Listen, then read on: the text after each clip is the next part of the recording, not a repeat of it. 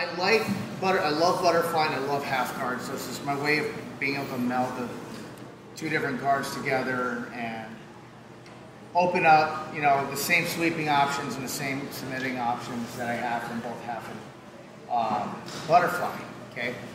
Um, now the way I start my getting my half butterfly, there's so many different ways I can enter it. Right. I can just if I'm stuck in a knee shield or if I have knee shield, I can just insert my foot and start playing uh, with uh, that butterfly hook. Or you know, my other entry that I use more often than not is starting from butterfly. Okay. Now, when I start my grip, I start a real. like my clinch is my my biggest asset. Okay. Now, um, Oscar. So, when I get my clinch, okay, I get like a, a, a good seatbelt, right? And when I do my seatbelt, I don't use a gable grip because when I get the gable grip, there's a lot of space between my arms. Okay, what I opt for is a butterfly grip. Okay, because one, I, I have bad hands and my wrists hurt all the time and arthritis. I'm old, so don't worry. Some of y'all young bucks will be feeling pretty soon. So this is like I'm product of like almost 30 years of and I'm, I'm walking train wreck. So when I start the butter, half butterfly, okay, I get a good fight here, okay. Now I have to see that a lot of people would want to drop to the right. Okay, I don't drop to the right. Okay, I drop to my left here. And I get my hook my left foot is going to stay hooked on the back of the leg, and I'm playing with my right foot inside here. Okay? Because what I'm looking to do with this, okay, is use this tight grip and him trying to escape his posture, okay, to set up my, uh, my options, okay? So typically, if I'm doing my job, okay, he'll be able to lift his hips okay? Or he's going to try to scoot straight back, okay? He's not, it's going to be hard for him to pressure in, okay? And if he does, he's not going to go very far, okay? What this, what drop into my left side also does, it gives me all the shoulder crunch um, options, plus it gives me a bunch of overhook options. Okay, so when I sit here, I get my butterfly, my half butterfly, so I drop here and I hook here. Okay, so what I don't want you to do is sit flat on your back. So if you land flat on your back, hip out and get, get on your side all the way. And I want you to go like cheek to cheek or ear to ear, okay? Because now, like I said, if I were to just go to straight to the shoulder crunch, okay? Because again, everybody everybody wants to be Gordon Ryan and, and try to sweep Buchecha, okay? This gives me also the option for the overhook and start playing up here. Make sense? So what I'm gonna do first, okay, since I have the shoulder crunch here, I'm gonna base my game off of his reactions. Now, if you were in my last class, okay, in my clinic about the game planning, I, you don't want to be the person reacting. But realistically, I pulled the guard, I put him in the guard that I want, so he's reacting to me, right? So he's got one, he's, again, like I said, one of several options. Okay? If he lifts his butt, he, he can lift his butt up, right, like so. He can pull away. Uh, keep your uh, knees down. You could try to scoot back, yeah, like this. Makes sense? Or he could drive into me. Okay? All those options are viable options. Are like typically those options you're going to find, right?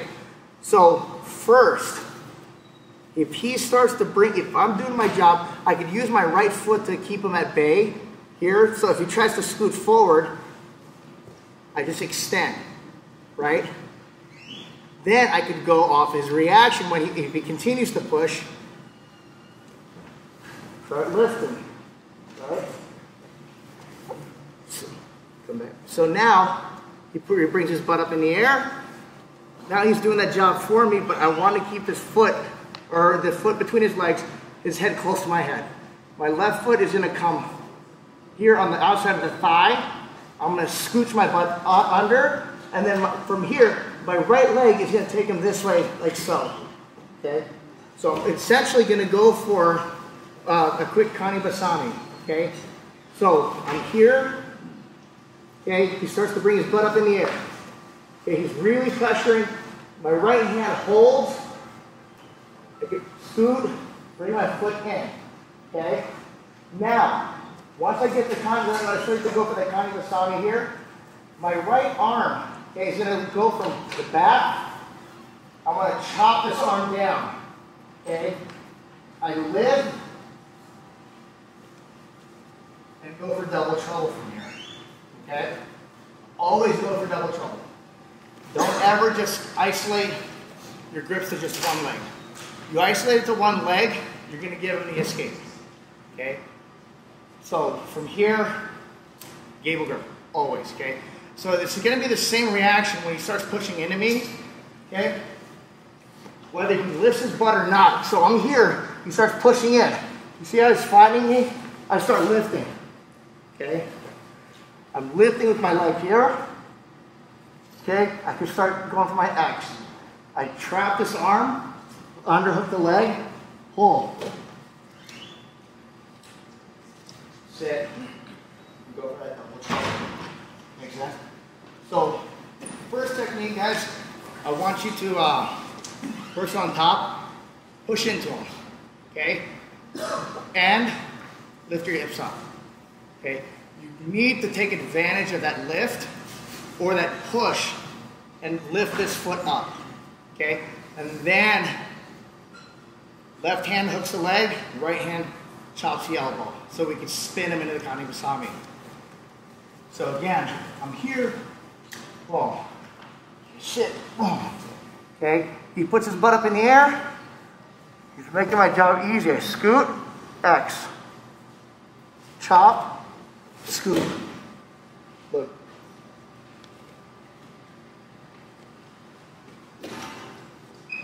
Equal grip. Internally rotate that leg. Make sense?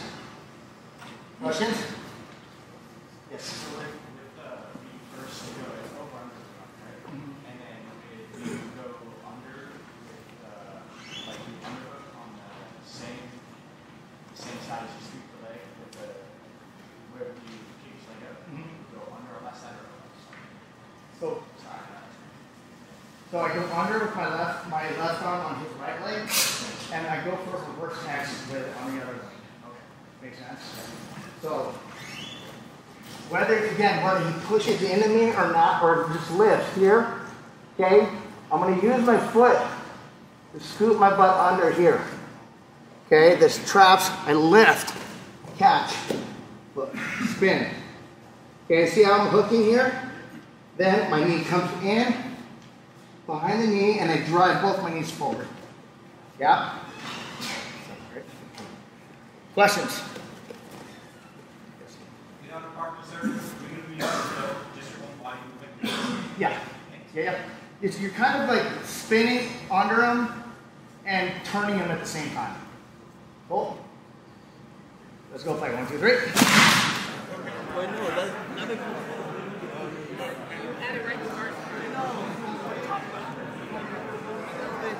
Treating we're playing with like a cat playing with a ball of yarn. You need to be able to balance them on our legs, right? We're spinning them and ourselves at the same time. Okay, so when I'm here, okay, when he lifts his, when he lifts his hips up in the air, his weight should be coming forward. Okay, so it's almost like he's trying to like cartwheel pass or whatnot over your legs.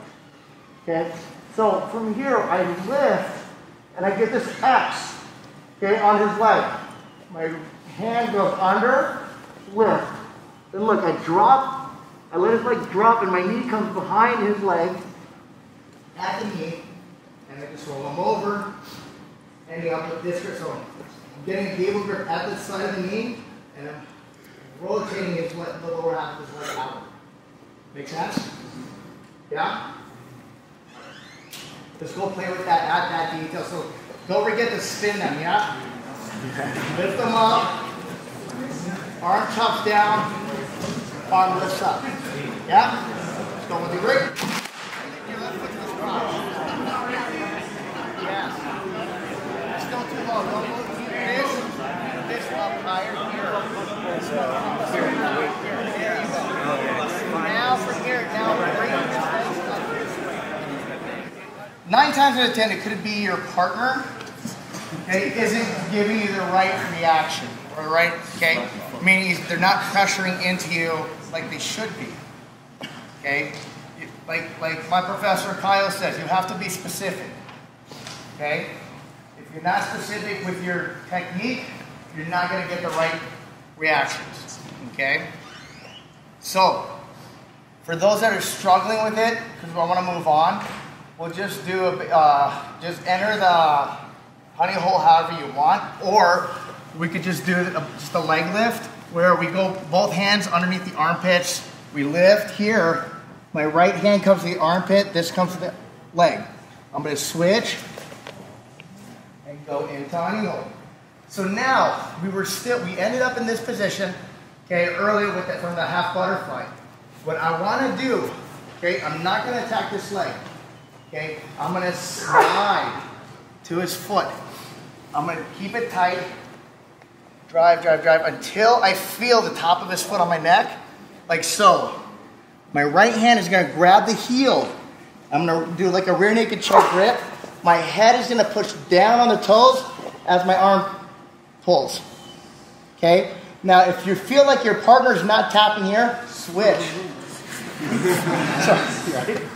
Sorry, right? Make sense? So again, I'm here, I slide here. My head drops onto the top of the toe or the foot. My hand grabs the heel and I squeeze for like a almost like a rear naked choke grip. I push my head into the foot. I rotate the heel and start turning my shoulder to the right. Make sense? So you have the two different options, okay? One, the, the half, the entry from the half butterfly, or if just from full butterfly, I lift. Okay? I need him above my head. My right hand transfers to the armpit, my left hand goes under. Okay? I lift, bring my knee through, boom. I slide, my foot, my neck to the top of his foot. I grab the heel, rear naked choke grip. I drop my shoulder, I rotate. You don't need it, do you? Who needs a knee? Questions? All right, let's go. go. Uh, From the half butterfly entry? Yep. You have a really good hook under your head. Yeah. You get total spadium, how do you address that? So lift them up higher. Yeah, so that's a good question. So look, I'm here, right? Look my head. Look my head. Okay, so I'm here, right? I lift here. Oh. Just lift. See? It's, he's very. It's, he's having a very difficult time trying to hold my head or keep his balance. He has to either give up on the head to keep his balance, or he just gives it to, gives me the uh, tomoe nage or the sumigaeshi. Okay, so I'm here, right? I get my hips underneath him here. I lift. Okay? Hook. Make sense?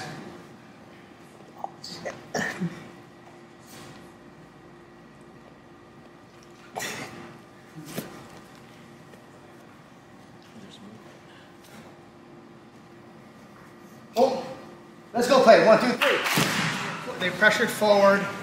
Okay, he brought his butt up in the air, and we entered the honey hole. Okay, we finished with uh, the Mikey lock inverted or reverse Mikey lock. Okay, this one is more of like a toe hold finish. The Mikey lock's more of a heel hook finish. Okay, but what happens when he starts pulling away? Like I'm really trying to keep him here, keep him down. I want to keep him close to me, but he starts scooting uh, backwards. Yeah, I'm he, keep, keep, he's pushing. Okay, I have a shoulder crunch, right?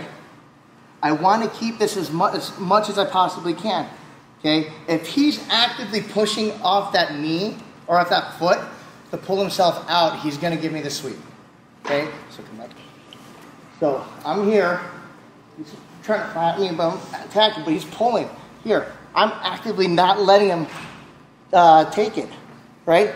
But then he starts to eventually get his head out. Boom.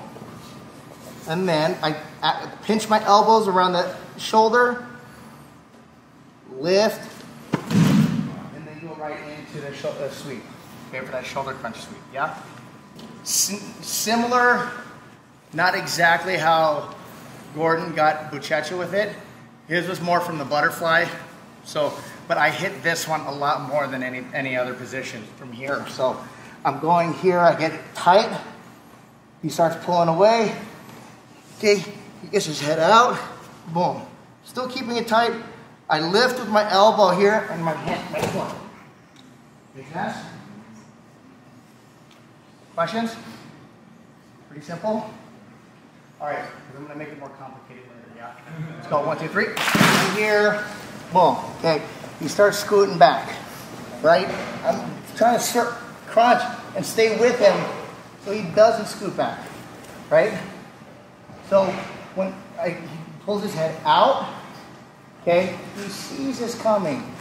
He pressures back in. Scoop this arm over. Okay? Because what I'm going to look for from here is I'm going to push him away from me. And I'm going to come up to a floating Z. My right hand is going to catch his ankle. I'm going to pull towards me, figure four, and then finish with the heel. Okay? So, right? So, again, pulling, pulling, pulling, keep pulling. No, no, no, no, no, no, stay, stay. Hook. And go back again, like a backside 50, backside 50, 50 heel hook. Okay, so really slowly. That hold, okay? He starts scooting away, disengaging. I follow him, right? So see how I'm starting to follow him? He gets his head out. My right hand goes to the armpit here. Okay? He's here, right? I'm gonna go ahead and bring my butt up in the air. Push, boom. Okay, my right hand grabs, okay, the ankle, the ankle. This hand could hug the hook, hug the thigh. I pull, bring my foot or my shin behind the uh, his butt crack. I could either figure just cross my legs here. I could figure forward, lock it on his hips. Okay, either way, just actively squeeze your knees. I grab the heel, pull. Okay.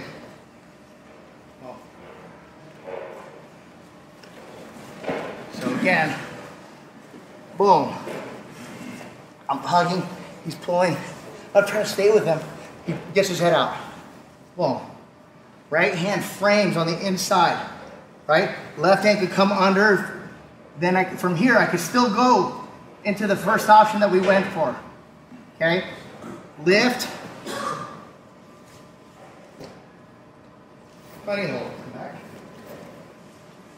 Here, no, sit back, sit back. He's sitting back. Get my butt up. Grab the ankle.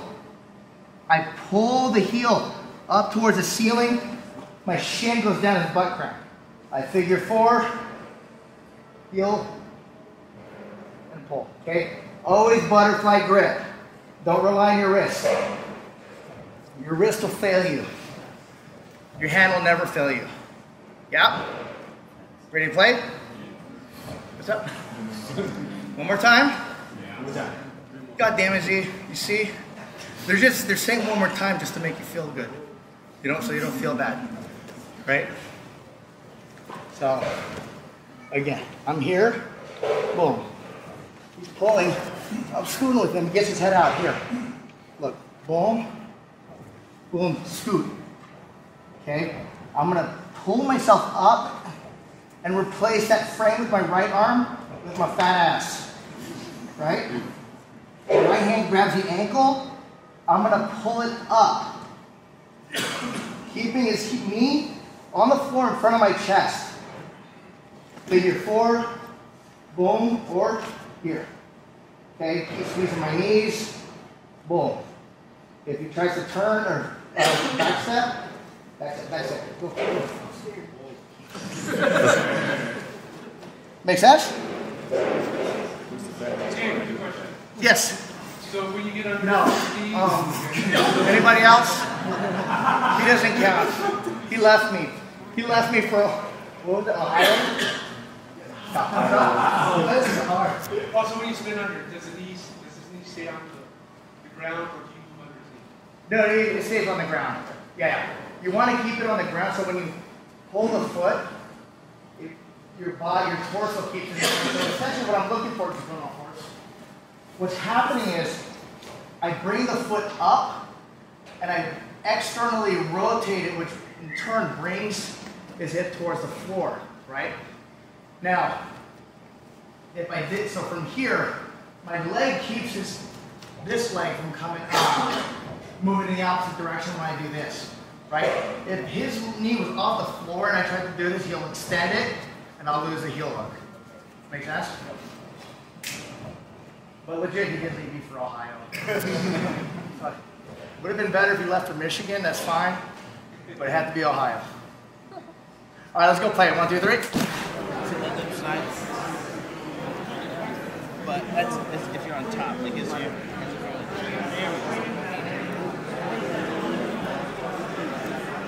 that's kind of like my I, I love like i mentioned earlier i love leg attacks i love head attacks okay because again everyone's going to lead with either or the head or the feet right and with playing the half butterfly okay, again it protects my feet and it makes it very easy for me to get underneath my opponent now it's just a matter of how well i'm able to manipulate my opponent like i'm trying to play like a cat playing with the ball in the arm just try, try think of that, and that's how I'm trying to spin them. I'm like holding. I'm on my back. I'm holding with both legs and um, hands. Okay, all parts of your body, your hands and feet, should be active at all times.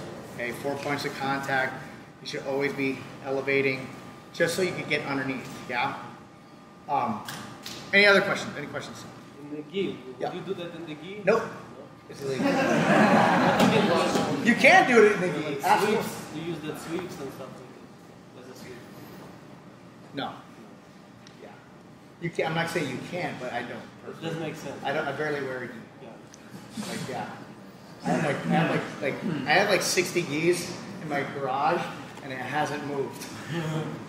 So, hey, hey, hey, hey, hey, hey. If you want, if you want to take some of them off my hands and like use them for pajamas, you're more than welcome to. Octopus. Well, that's what I'm saying. Use them for pajamas. Cut the sleeves off or something. But anyway, um, thank you guys for coming. Hope you picked up something. You know, I know it's a little advanced. Um, I was gonna put advanced, but I wanted a lot of you guys to experience the half butterfly and the leg entries and whatnot. Um, my next class will be on wrestling up. Okay, so basically for people that don't like to wrestle. Y'all should like to wrestle. Okay? Wrestling's amazing. Okay? Um, if you have the age to wrestle, you should be wrestling. Okay? But the only time you should be butt scooting is if you're old or your stand up game sucks in comparison to the person standing across from you.